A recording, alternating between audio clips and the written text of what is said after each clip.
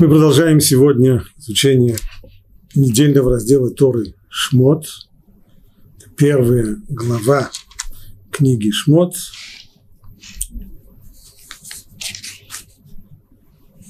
Самое начало.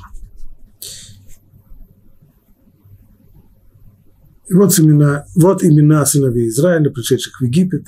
Они пришли с Яковом, каждый своим семейством, Рувен, Шевмон, Леви, Иуда, Исахар, Звулун и Беньямин, Дан и Нафтали, Гад и Ашер. Всех душ, пришедших от Якова, было 70, а Иосиф был уже в Египте.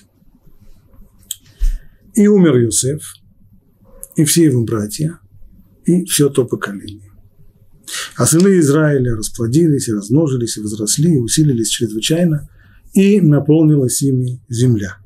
И встал новый царь над Египтом, который не знал Иосифа, и сказал своему народу, вот народ сынов Израиля многочисленнее и сильнее нас.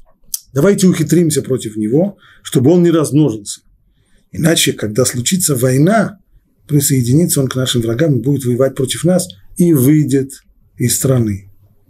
И поставили над ним налоговых чиновников, чтобы изнуряли его тяжкими работами. И он построил города-хранилища фараону, Питом и Рамсес.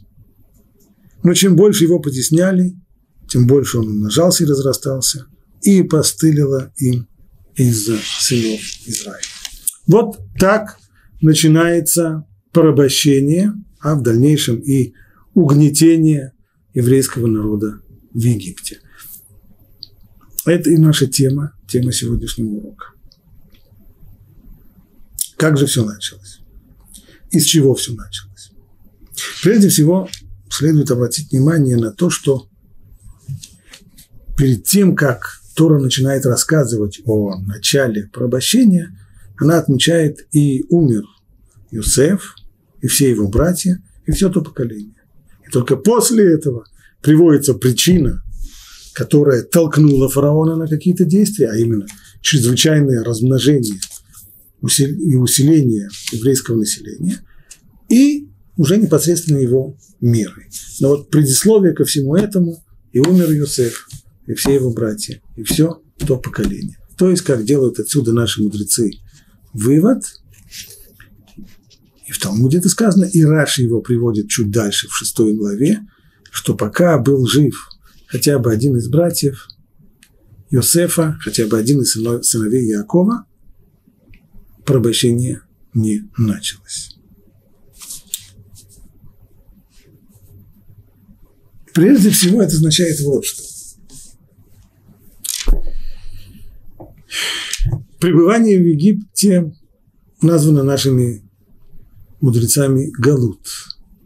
Галут – это изгнание, ненормальное состояние не только в том, что человек находится не на своем месте, не у себя дома, но и вообще он не на своем месте и живет не так, как он должен жить. Ненормальное положение, ненормальное состояние. Это было предопределено потомкам Якова, потомкам Авраама еще давным-давно. Брит бен Абитарим, союз между половинками, когда Всевышний заключил союз с Авраамом, уже тогда он сообщил, Ядоа ты да, кигер езараха, берец ты должен знать, и знай это, что пришельцами будут потомки твои в чужой земле, и будут их порабощать и угнетать там 400 лет. Значит, Галут уже был запрограммирован, он уже был запланирован, и сейчас он только реализуется. Но галут, вот это вот ненормальное состояние, оно уже зависит от человека, который в этом состоянии находится, в которое, который его воспринимает. То есть, что значит ненормально? То, что я воспринимаю как ненормальное, значит, для меня это галут. Но если я с этим свыкся и воспринимаю это как совершенно нормальное, я с этим... Тогда это уже, в общем-то, перестает быть э, галута, по, по крайней мере, по отношению ко мне. И вот так вот э, Рицрун Яков Каневский, Стайпелер в книге Метли Яков, так он и, и объясняет, что пока было живо поколение первое, пришедшее в Египте, в Египет, Йосеф, его братья, Те, кто пришли в Египет, они совершенно четко ощущали, что они на чужбине, они не на своем месте. Они не живут там, где они должны жить, жить они должны в Святой Земле, в Израиле. Они находятся не дома, у них изгнание. И то, в каком месте, просто это не дома, но и место, в которое они попали, это место неподходящее. Но для потомков Авраама никак не подходящее место. Изначально бы его никто не выбрал для проживания, даже для времени. Но так уже, так уже распорядился тот, кто вершит судьбами. И пока это ощущение было живо, пока оно еще было достаточно остро, то, в общем-то, самим пребыванием в чужой земле и реализовалось то самое предопределение Галута. Они ощущали, что они в Галуте, что они в изгнании. Ну вот и все. Больше ничего не Гайки закручивать не нужно было. Ну как только умер Йосеф и все его братья, и все то поколение, произошла смена поколений. Новое поколение выросло, а некоторые уже и родились в Египте. Для них Египет был их домом. Они здесь выросли. Они чувствовали себя здесь достаточно своими. Чувствуют на месте. Они уже не чувствовали себя в изгнании. Вовсе нет. На прошлом уроке мы упоминали это. С одной стороны, Йосеф постарался, чтобы его семейство жило вдали от египетского населения, от коренного населения. Он выбрал для этого дельту Нила. С одной стороны, вроде подходящую евреям по их роду занятия, они пастухи, а там есть заливные луга, это очень хорошо. А с другой стороны, подальше-подальше от населения, от коренного населения. Но долго это не продержалось, поскольку началось вот это вот очень сильное, сильный прирост населения, то евреи, пробив бреши в этой добровольной черте оседлости, начали уже расселяться среди коренного населения. Ну и больше они уже чужаками здесь себя не чувствуют. А как же тогда Галут? Ведь им же должен быть Галут, изгнание. А если они чувствуют себя здесь на своем месте, изгнания нет.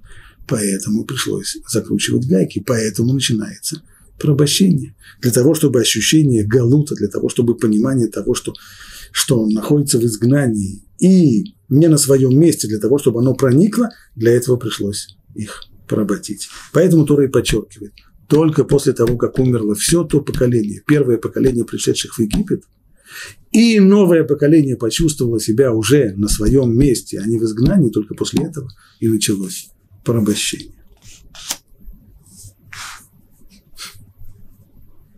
Еще раз посмотрим уже более внимательно текст и обратим внимание на его подробности. «И встал новый царь над Египтом, который не знал Иосифа». Новый царь. Раши приводит здесь цитату из Талмуда в трактате Сута. Там есть спор между двумя мудрецами, Рав и Шмуэль, они расходятся во мнениях. Один говорит, что это действительно был новый царь, а другой говорит, что новыми были только его указы. Прежде всего, откуда возникает этот спор? Казалось бы, ведь просто написано «И встал новый царь над Египтом». Почему нужно сказать, что новый имеется в виду не то, что он на самом деле новый. Нет, новый-то он был старый, не новый. А новая политика, новые указы, новые законы, в том числе законы, драконовские законы по отношению к евреям, которые привели уже в дальнейшем и к их порабощению тоже. А штука-то в том, что, с одной стороны, написано «Ифтал новый царь над Египтом», но это непривычная для Торы формулировка. Обычно Тора пишет «И умер предыдущий царь, и встал царь вместо него, или встал тогда новый царь». Здесь отсутствует факт того, что сказано «И умер, и умер царь». Поэтому возникает первое мнение, кстати, у нас не сохранилось, Рав и Шмуэль, они спорят на эту тему, но неизвестно, кто из них что говорит. По крайней мере, один из них говорит, стало быть, поскольку не сказано, что прежний царь умер, стало быть, то, что сказано «новый царь», не имеется в виду, что действительно новый царь, а имеется в виду только его новые указы, новая политика. Второй говорит «нет». Хотя не написано, что он умер, но следует понимать это действительно именно так, что это и новый царь, действительно, по-настоящему новый царь. дополнительный вопрос, который здесь возникает из-за этого комментария, если, по, по крайней мере, по одному из мнений,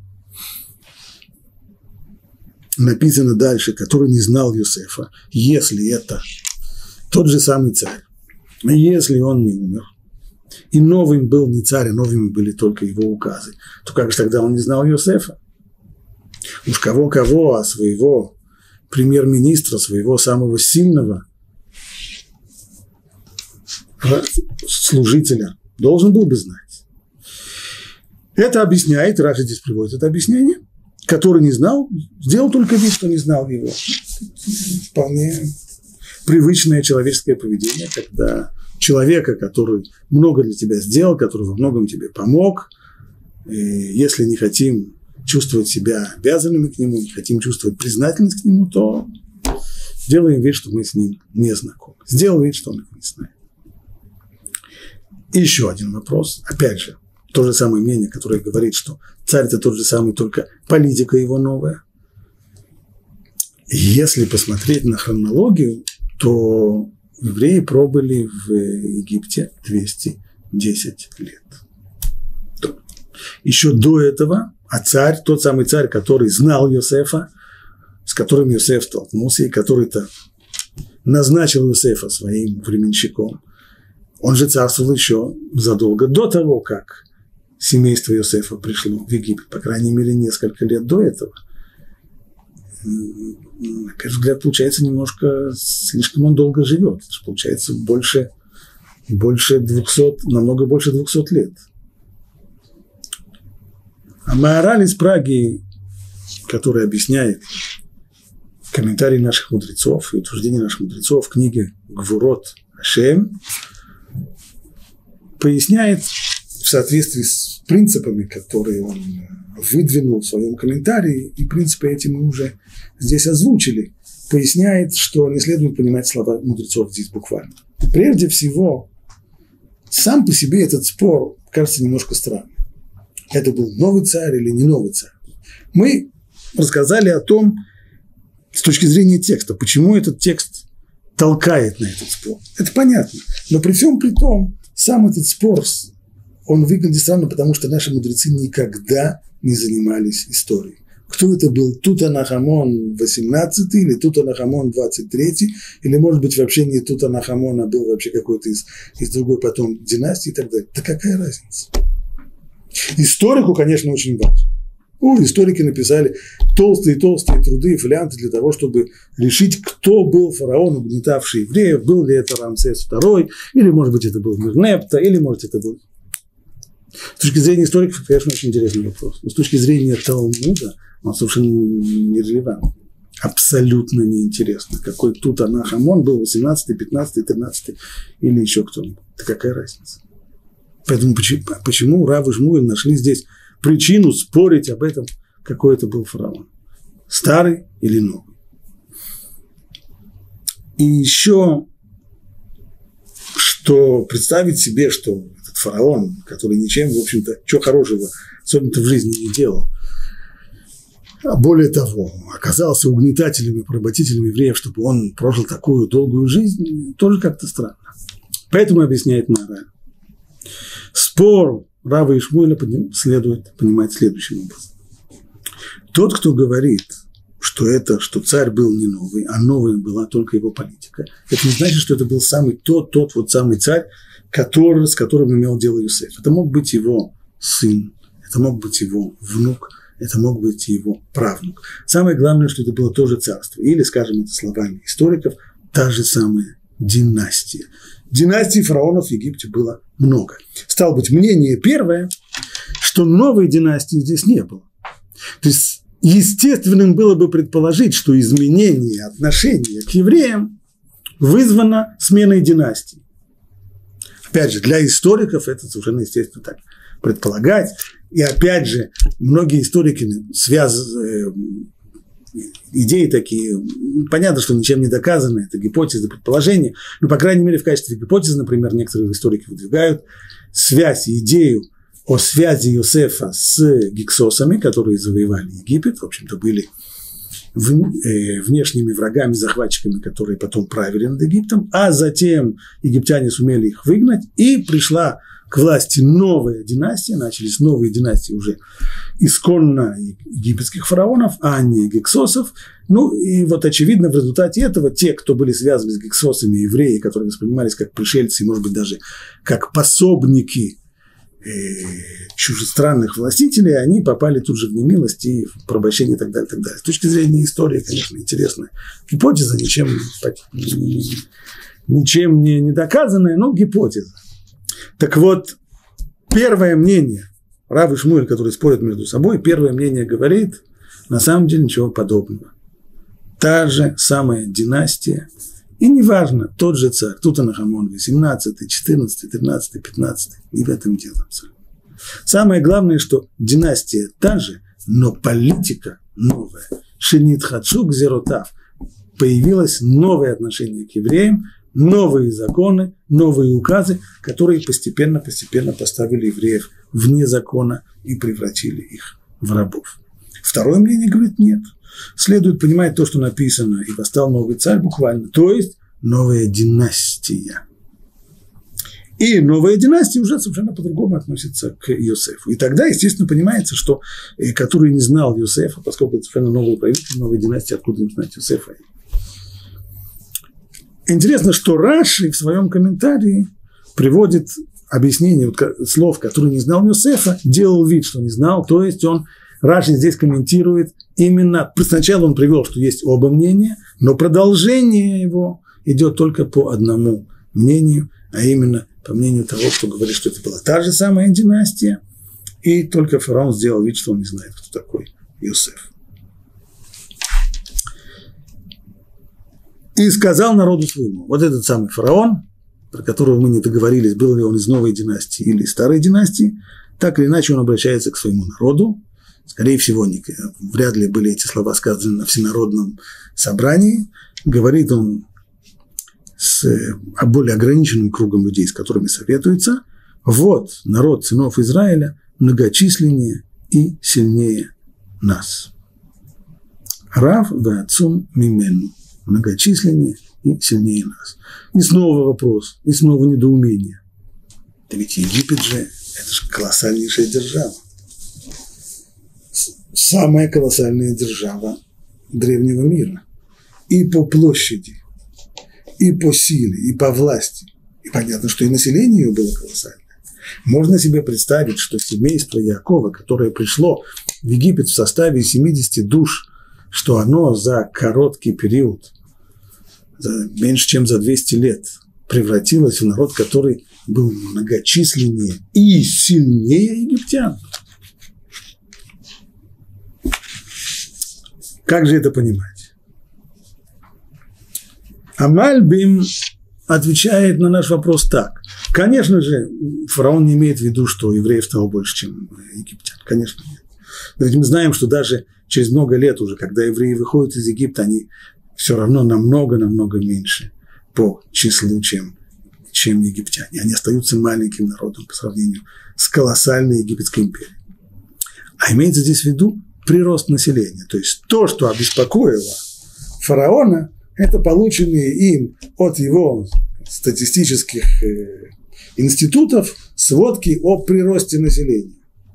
Немножко да, напоминает то, что происходит в современном Израиле. Понятно, что евреи в Израиле остаются большинством уже не один десяток лет.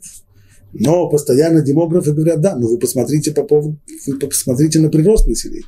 Ведь прирост арабского населения намного выше, чем прирост еврейского населения. То же самое сказали и фараону. Конечно же, конечно же, евреи не так многочисленны, как, как египтяне. Об этом даже речи нет. Но прирост населения намного выше, чем у египтян. Намного сильнее. И это обеспокоило фараона. Так объясняет Мальбин. Другие комментаторы, они сосредотачиваются на объяснении слова «мимену». Рав веацум мимену. Обычно, так как мы это перевели просто, ничтоже сумняшися, вот народ сынов Израиля многочисленнее и сильнее нас. То есть, э, чем мы? Мимену – это слово, которое означает превосходство – То есть э, произносится оно э, как слово относительное, да? чем мы, ми, мену, и поэтому это поставило и нас вот э, перед таким вопросом. А вовсе не обязательно так переводить. Одна из возможностей, мы предпочитаем, чтобы это раввирш, слово «мимену» вероятно, следует толковать в том смысле, что и слова Авимелиха сказаны Ицхаку. Есть у нас уже прецедент. Когда царь Грара Авимелих сказал нашему праотцу Ицхаку, «Лех мейману ки отцамта мимену» – «Уйди от нас, потому что ты стал сильнее нас». И снова, Авимелих, хотя это небольшая страна, город-государство, город-государство, но все равно сказать, что этот город-государство был слабее, чем Ицхак, который, в общем-то, был частным лицом. Да, у него, у него очень хорошо шли дела, у него была невероятная браха, благословение, которое приводило к тому, что он быстро-быстро богател, но при том, при том чтобы, чтобы Авимелик так сказал, что ты сегодня сильнее нас, навряд ли. А что же там имеется в виду? Говорит, смысл там вот в чем. Ты уходи от нас. Почему? Потому что ты стал слишком могущественным для нас. Не могущественнее нас, а слишком могущественным для нас. Ты сильнее, чем то, что мы готовы стерпеть. То есть ты стал для нас слишком могущественным. Мы не можем праздно сидеть в стороне, когда ты все больше и больше набираешь могущество. То есть есть какая-то черта большинство согласно терпеть меньшинство. Слава Богу, оно его терпит но до какой-то определенной стадии.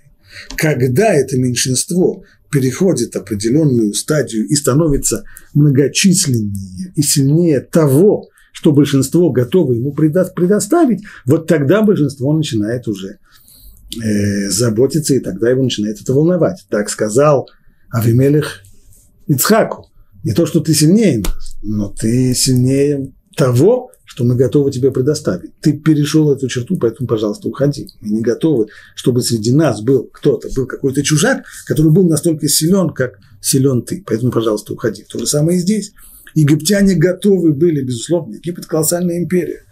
И Египет жил за счет труда рабов. Поэтому приток рабов в Египет был для него важным вопросом. Готовы египтяне для того, чтобы среди них жили Жили чужаки? Да, конечно, готовы. Но определенная процентная норма, не больше того. Так следует это понимать. То есть то, что сказал фараон, вот народ сынов Израиля многочисленнее и сильнее, имеется в виду там многочисленнее, чем мы готовы ему позволить. Они стали для нас, и тогда слово «мимену» понимается понимается совершенно, то есть более много, не, более многочисленнее, чем мы, но многочисленнее по отношению к нашим потребностям и нуждам. Нам нужны рабочие руки, нам нужны еврейские головы, да, пожалуйста, но не в таком большом количестве. Так, это второй вариант объяснить. Есть и третий вариант, снова сосредотачивается на слове «мимену». Есть у него еще одна возможность прочтения. Слово «мимену» мы сказали, чем мы, или чем или для нас, как относительное, не как указание превосходства, а как относительное, больше, чем мы готовы стерпеть. А есть еще один вариант перевода, третий. Мемену – это от нас. Не чем мы, а от нас. То есть, если евреи стали такими многочисленными, и если они стали такими сильными, за чей счет это произошло? За наш счет, за счет египтян. Они же питаются египетским хлебом египтяне очень питаются, по крайней мере египетским хлебом и ячменем, и нашу еду они едят. За наш счет они наживаются, за наш счет они размножаются, становятся сильнее, многочисленнее, могущественнее. Это все от нас. То есть, иными словами, они у человека, который это слышит, естественно, пробуждается ощущение, что кто-то здесь есть паразиты, которые живут на наш счет, наживаются за счет нас. Смотрите, как они разрастаются. А все это на нашем египетском трудовом горбу. Понятно, что подобного рода слова были направлены для того, чтобы пробудить в слушателях негативное, как минимум негативное отношение к евреям, которые размножаются плодятся, растут и богатеют за счет трудового египетского народа.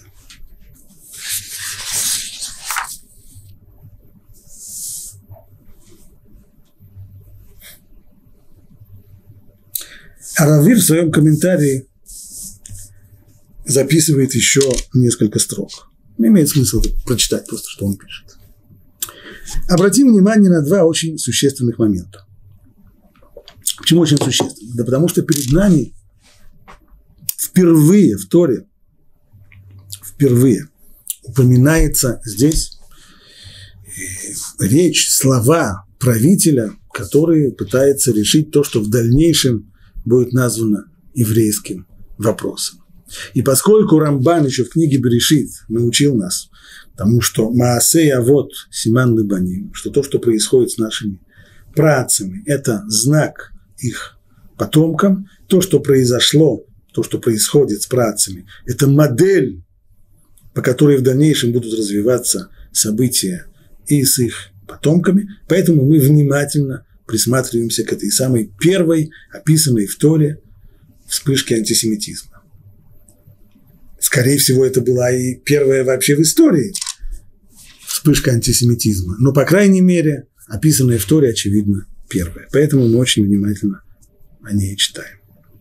Равиш говорит, что здесь, в этой, в, в речи фараона, в том, что он в дальнейшем говорит, предложением ухитриться против него, давайте ухитримся против него, чтобы он не размножался, иначе, когда случится война, присоединится и он к нашим врагам, будет воевать против нас и выйдет из страны.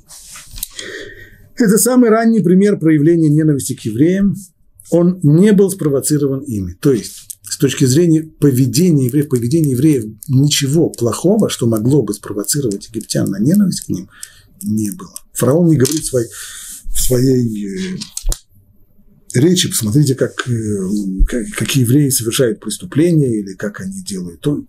Ничего, просто факт их существования. Он и обеспокоил. Это первый факт. Фараон не смог предъявить им каких-либо обвинений. Иначе не было бы необходимости прибегать к хитрости, а можно было бы действовать против них открыто. То есть, если бы сказали, что евреи, живя на границе, занимаются контрабандой и проводят в Египет контрабандное вино из Палестины или еще что-нибудь в этом роде, ну, так тогда можно действовать против них. Зачем нужно говорить, давайте ухитримся? Не надо ухитриться, нужно просто усилить пограничные войска, усилить таможню, усилить еще что-нибудь и наказывать их по всей строгости египетского закона. Или, если можно было их обвинить в незаконной спекулятивной деятельности, в том, что они э, спекулируют на каких-то вещах, или обычные предъявляемые э, обвинения, но так можно было действовать при помощи закона. А здесь мы видим, и не Равирш первый, который обращает на это внимание, еще, еще средневековый комментатор уже указывает здесь на довольно странный факт, что фараон предлагает людям, с которыми он советуется, давайте ухитримся против них. Ухитримся. Это не то, что один сосед пытается сплести интриги против другого. Это правитель колоссальной-колоссальной страны, державы, самодержец, неограниченный правитель. Ему нужно ухитряться против э, какой-то группы своих подданных.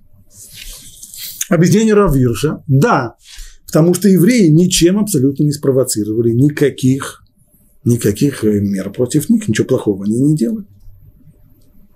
Это первый факт. Второй факт. Ненависть к евреям не возникла в народе спонтанно. То есть э, спонтанное возникновение антисемитизма – это немножко из области мифов, говорит Равирш. Здесь мы видим, что ненависть к евреям была инспирирована свыше. Она была инспирирована правящими кругами. Именно они возбуждали в людях зависть к евреям указывают. Видите их? Они, видите, как они многочисленны. По всем комментариям. Видите, какое у них прирост населения, как они растут. Видите, что они стали уже сильнее, чем мы можем это позволить. Видите, что все это за наш счет, что на наших харчах они так разжирели. Антисемитизм был политическим оружием, которое новый правитель использовал для консолидации собственных сил.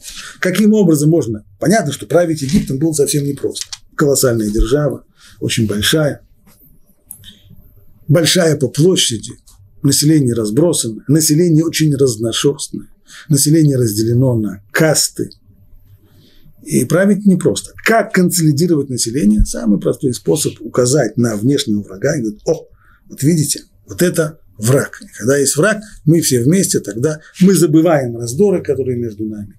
Мы забываем неурядицы, мы забываем совершенно разные и подчас противоречащие интересы. Мы все вместе, сплотившись, плечом к плечу, становимся едиными против внешнего супостата. Так и здесь. Фараон обрисовывает им. Вот, очевидно, в этот момент таких уж совсем внешних врагов не было, очевидно, с, с соседями пока что. Египет был достаточно силен, чтобы нагнать страх на соседей. Единственная держава, которая позволяла себе воевать с егип, египтянами, это было Хет, и, очевидно, было какое-то перемирие, значит, срочно потребовался враг внутренний, а не внешний, для консолидации населения. Вот мы и нашли внутреннего врага – евреи. Ничто не ново под солнцем. И в основном все исторические явления также стары, как сама история. Пересказ слов Рамбана. Масеявод, Симан Либаним, деяние отцов, знак сыновьям. Всякий раз, когда деспот хочет придавить своих подданных, он бросает им на растерзание другой народ, который те могут, в свою очередь, притеснять, вымещая на нем свое негодование. А видишь, прибавляет здесь еще один важный мотив. Дело не только в том, что указание на врага консолидирует народ вместе, но и народ, на который давит сверху, нужно, нужно иметь какие-то клапаны, в которых недовольство, через которые недовольство, через которые э, ощущение приниженных, униженных и угнетенных людей может выходить. Что это за клапан? Дайте человеку угнетаемому, чтобы он сам угнетал кого-нибудь другого. И вот тогда все его негативные чувства по отношению к угнетателю будут трансформированы в желание угнетать других. Такова природа человека. Фараон это знает. Откуда он это знает? По опыту или советники ему опытные так сказали. Но это действительно работает. Поэтому угнетаемому египетскому народу дается на растерзание другой народ, который ниже их по социальной лестнице. А? Вот он, пожалуйста, видите, как собаки. Фас. Многие антиеврейские законы обязаны своим происхождением именно такой политике. Автор этих самых первых антиеврейских законов, да, фараон наш, вполне вероятно действовал под влиянием подобных соображений. Он стремился уравновесить свое деспотическое правление, создав для угнетенного египетского народа вот этот вот клапан. Каким образом? Что за клапан? Создается каста пария, то есть совсем уже отверженных людей, на которую все другие касты могли бы смотреть с презрением, с отвращением. Это как он надеялся, это дало бы его подданным уверенность в себе, ощущение того, что мы тоже чего-то стоим. Почему? Если мы можем, если есть те, на которых мы можем плевать, если те, которых мы можем растоптать, значит, мы чего-нибудь стоим. Правда нас тоже топчет, правда нас тоже, но мы можем топтать других, значит, мы чего-то стоим. Ибо они стали бы считать себя более свободными, чем та каста, которую их учили презирать. Ну, в дальнейшем мы увидим еще отношение Рамбана к, к этим вопросам, но пока что не будем спешить, не будем залезать вперед. Вернемся еще раз к словам э, фараона.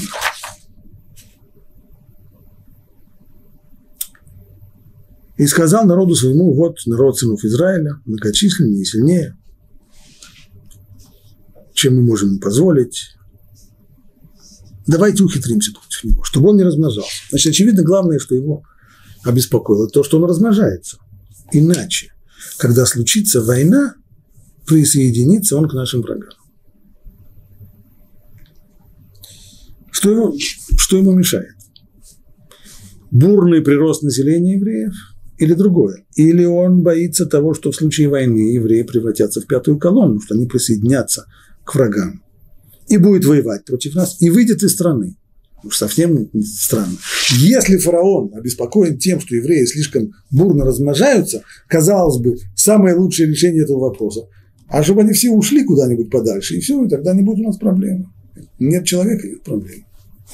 Здесь мы видим наоборот, он этого боится. Чего он боится? Что если случится война, тогда он присоединится к нашим врагам, будет воевать против нас, и что? и уйдет из страны. Значит, фараон хочет, чтобы евреи были здесь. Но если он хочет, чтобы они были здесь, тогда почему он беспокоен тем, что они размножаются? Может быть так, может быть, он хочет, чтобы они были, он заинтересован в них, но в небольших количествах. Заинтересован, чтобы да, но. А если они совсем уйдут, тоже плохо. Если их будет очень много, плохо. Совсем уйдут, тоже плохо. Пусть будут, но немножко. Может быть так. А может быть и другое, может быть, фараон сам еще не знает. Он знает, что его беспокоит. То есть то, что, то, еврейский вопрос уже возник, и он знает, что его беспокоит. Ну что конкретно беспокоит? И что он собирается делать в дальнейшем, он тоже еще не очень знает. Он только делится своими советниками, своими, своим беспокойством, своей, своей заботой. Но точно у него и плана точно у него еще, может быть, еще и нет. Может быть, и другое. Может быть, вся эта речь, поскольку фараон опасается, что у стен есть уши, или он опасается, что сами его чиновники могут разнести слух и молву, то он сознательно камуфлирует и напускает тумана, чтобы сами его чиновники не очень его поняли. Может быть так. А может быть и что-то другое. Посмотрим, что говорят комментаторы. Прежде всего Раши.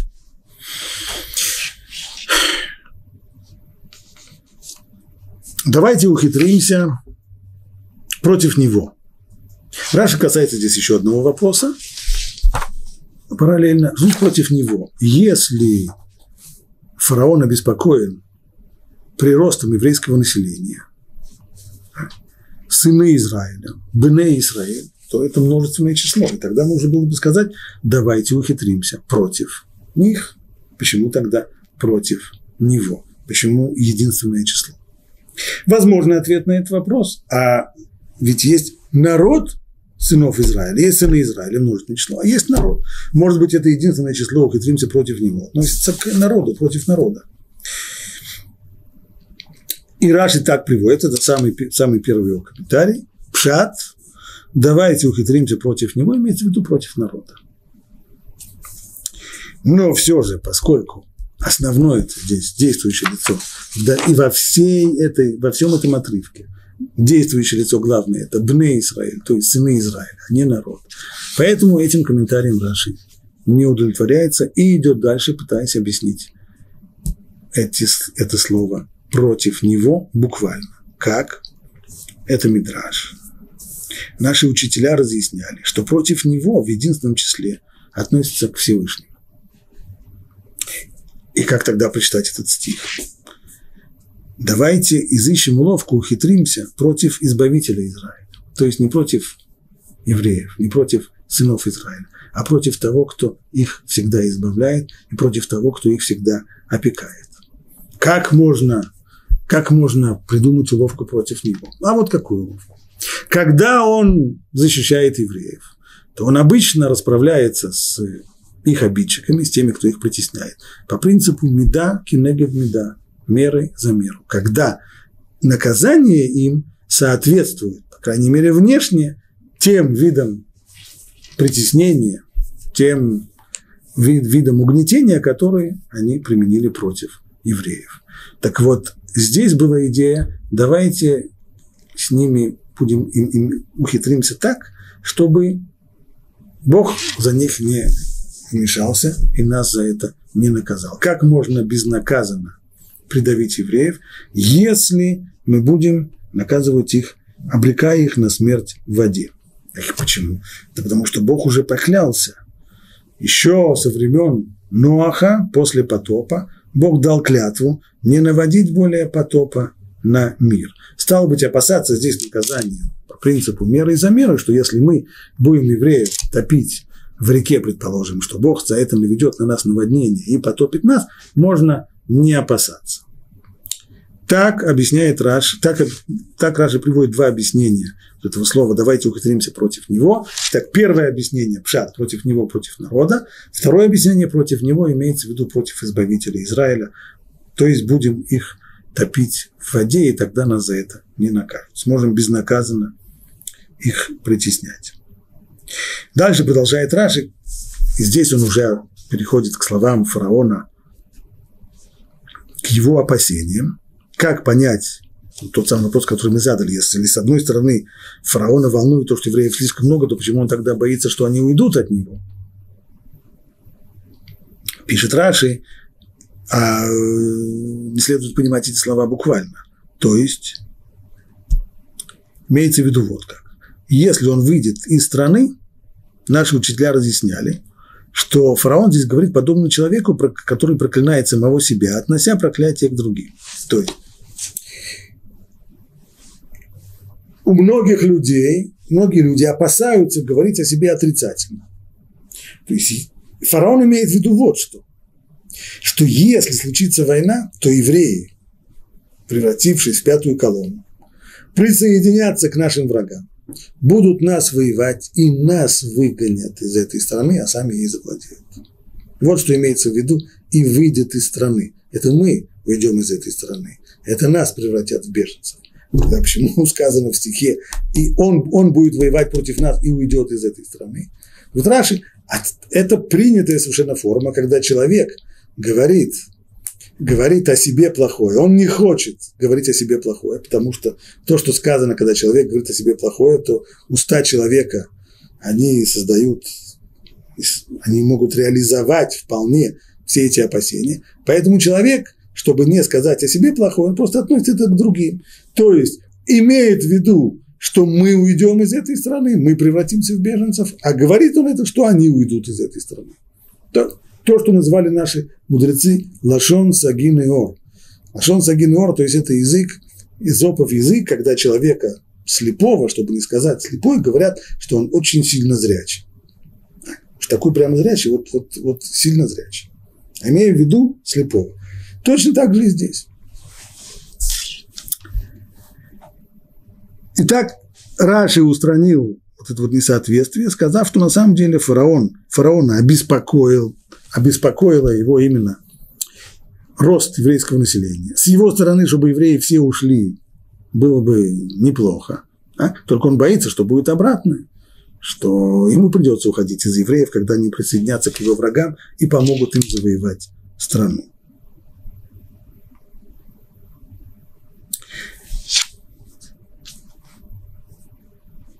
А тоже обращается к этому вопросу. И прежде всего его интересует вот что. Откуда вообще это взялось? Почему фараон вдруг видит евреев пятую колонну? Ну хорошо, их много, они размножаются. Ну и что, какое тебе дело? А, какое Они присоединятся к нашим врагам. Почему они присоединятся к вашим врагам? Они же граждане Египта. Они же, ну, как мы уже говорили, второе поколение. Они здесь родились. Они здесь, по крайней мере, выросли. Они чувствуют себя своими. Почему? Почему они вдруг присоединятся к врагам? Здесь срабатывает известный очень интересный эффект, о котором говорят наши мудрецы, и Раши приводит это в книге Дворим. Эффект этот вот какой. Говорят наши мудрецы, если ты хочешь знать свое отношение к какому-то человеку, ты не очень представляешь себе, как ты ему на самом деле относишься, то ты спроси себя, задай себе этот вопрос, а как этот человек ко мне относится? И вот то, как ты ответишь для себя на этот вопрос, как тот человек ко мне относится, и будет для тебя индикацией того, как ты к нему относишься. То есть, что это значит? Значит, это вот что что если я к кому-то отношусь неприязненно, например, то я буду ощущать, общаясь с этим человеком, что он ко мне неприязненно относится. На самом деле, на самом деле, то, что произошло, очень может быть, что у него, да, есть неприязнь, но не исключено, что эту неприязнь вызвал я, потому что в тот момент, когда я к нему неприязненно отношусь, то я, то моя, моя эта неприязнь ему передается. Но даже если это не так, если у него не возникает этой неприязни, то, по крайней мере, свои отрицательные мысли о нем я переношу на него. То, как я способен повести себя по отношению к нему, именно такие намерения и действия я приписываю ему по отношению ко мне. То есть, если человек говорит, что некто самым наглым образом обманул его, или некто рассказывает о нем то-то, то-то и то-то, разносит о нем молву и так далее, и так далее. Это значит прежде всего, что сам человек, жалующийся, способен таким образом обманывать, способен таким образом разносить молву. То, если хочешь знать, как ты относишься к этому человеку, если ты хочешь знать, что ты способен сделать по отношению к этому человеку, спроси себя, что ты думаешь о том, что он по отношению к тебе делает. И то это то, что происходит здесь. Фараон говорит, а они же пятая колонна, то есть они люди вероломные, они представляют себя вроде бы как верноподданные египтяне, а на самом деле при первой возможности случится какая-то война, они тут же присоединятся к нашим противникам. Тот, кто ненавидит другого, пишет Равиш, обычно проецирует свое чувство на предмет своей ненависти. Проецирование чувства своей ненависти на предмет ненависти. Фараон, по всей вероятности, думал, евреи наши враги, им нельзя доверять. Почему он так думает? Да потому что он их уже ненавидит, поэтому он, прису... он приписывает им ненависть к египтянам. Если их станет много и случится война, так они придут на сторону неприятеля. Но даже если этого не произойдет, они начнут размножаться так быстро, что Гушин вскоре станет им тесен. И тогда толпы, миллиарды евреев заполнят весь Египет, и нам просто здесь места не останется. Нам придется собирать чемоданы, уезжать. Мы в своей собственной стране превратимся в пришельцев. А они, настоящие пришельцы, они станут хозяевами этой страны.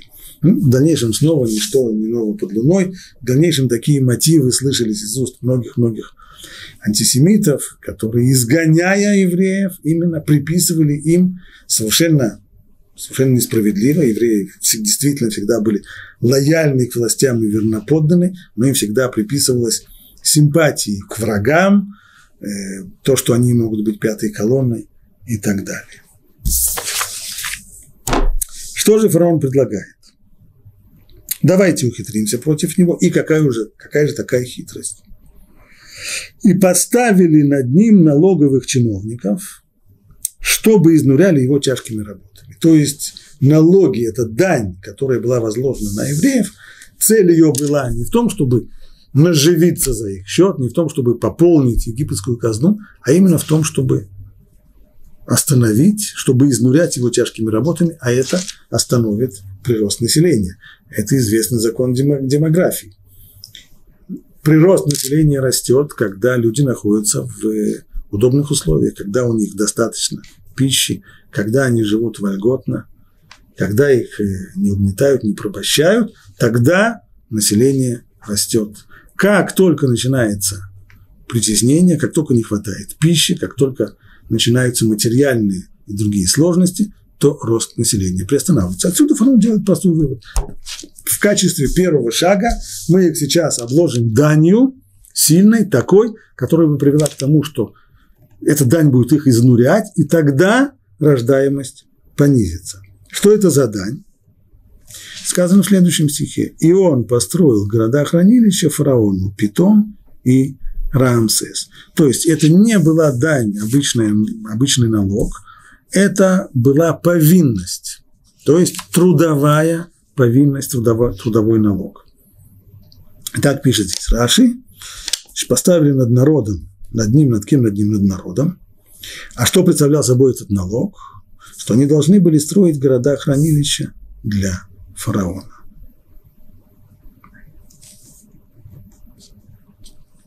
Есть здесь и другое объяснение, что значит они поставили над ним налоговых чиновников.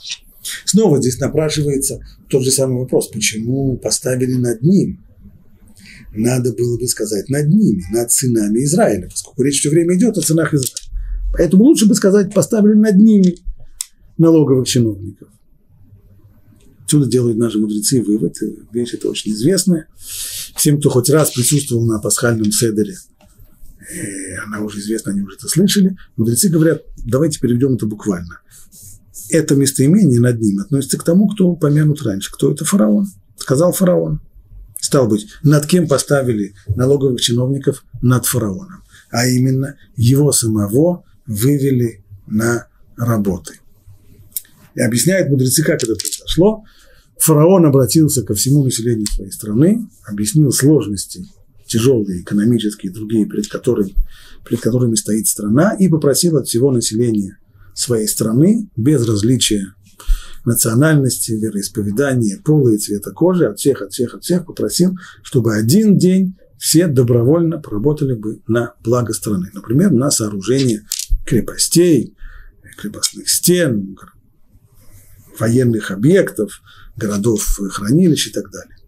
Ну и в тот момент, когда такое, такой призыв был, то евреи, как сказали, чувствовавшие себя вполне, вполне гражданами страны, они-то не чувствовали себя пятой колонной, как это считал фараон, они присоединились к, к общему порыву и пошли работать добровольно. Почти все, не все, почти все. Колено Леви, как говорят наши мудрецы, осталось дома.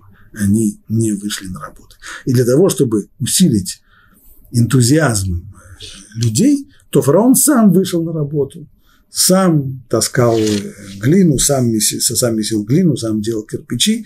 И поэтому сказано, поставили над ним – налоговых чиновников над кем? Над фараоном. То есть он тоже тогда подчинялся, он вышел как простой рабочий, подчиняясь э, урядникам, э, бригадирам и прорабам, и работал вместе со всеми. Так прошел целый день, все вернулись домой, а евреям было сказано, что завтра необходимо продолжить. И так хорошо работали, такой замечательный был энтузиазм, что желательно продолжить еще один день, еще один, еще один, а в конечном итоге их уже обязали работать. Так евреи попались на эту удочку, так и фараон их перехитрил, и таким образом они и постепенно, постепенно вползли вот в это э, порабощение.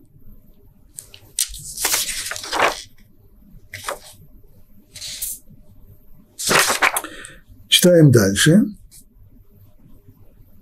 Но чем больше его притесняли, тем больше он умножался и разрастался, и опостылило им из сынов Израиля.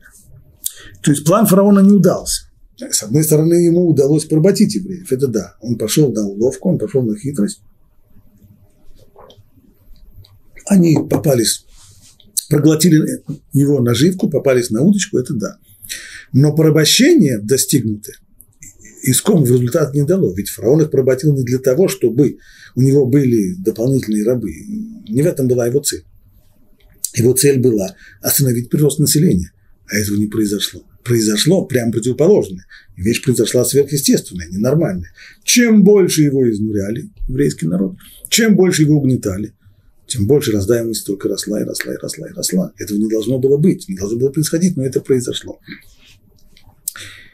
И, как говорит здесь Раши, чем больше его притесняли, чем больше они стремились притеснять, тем больше Всевышний желал умножать и распространять, как сказано.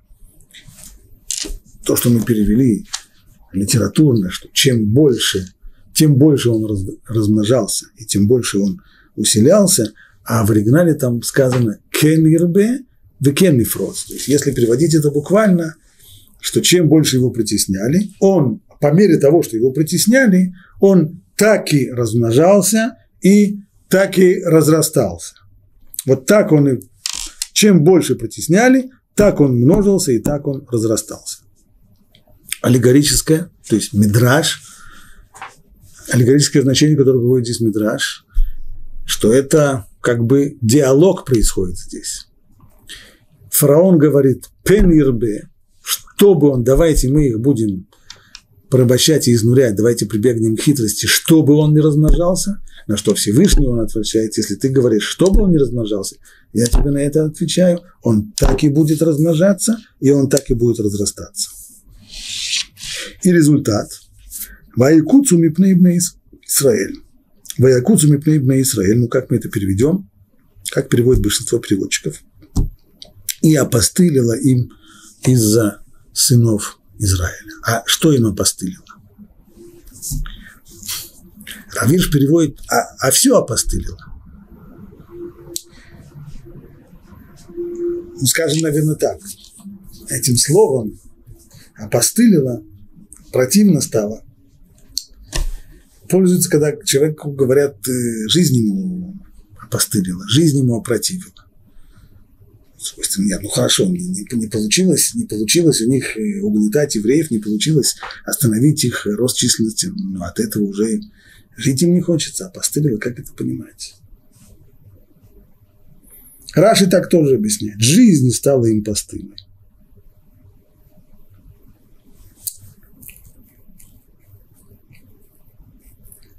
А мудрецы говорят, Мидраш, значит, пшат имеется здесь в виду, Ваякуцу мипнеибне Израиль, жизнь им опостылила. А Мидраш, Мидраш говорит, давайте понимать это слово буквально. Что такое Ваякуцу? Хотя действительно в, в обыденной речи обычно это слово употребляется вот в таком переносном значении, когда человеку что-то опротивило или опостылило. Но корень-то этого слова – это коц, колючка.